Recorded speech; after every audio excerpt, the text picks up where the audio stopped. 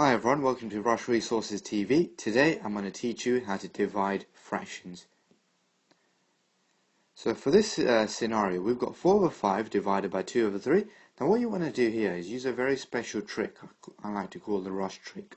So we leave the first fraction as it is, 4 over 5, and we change divide to times, and we flip the second fraction.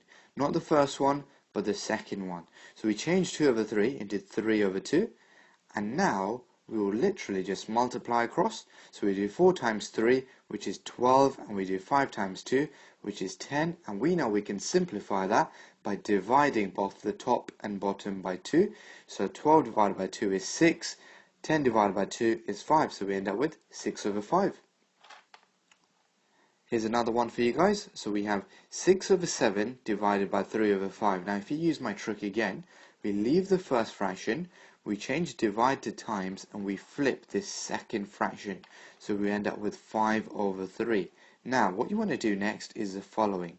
6 times 5 is 30, 7 times 3 is 21, and now we would simplify by dividing the top and bottom by 3. So 30 divided by 3 is 10, 21 divided by 3 is 7.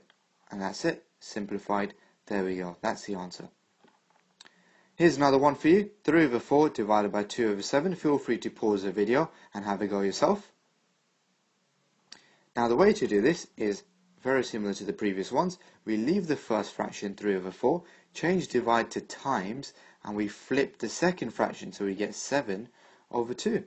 And now we end up with 3 times 7, which is 21, 4 times 2, which is 8, and the answer is 21 over 8. And that's it. Hope you enjoyed this video. If you found it useful, give it a thumbs up and feel free to subscribe for more videos.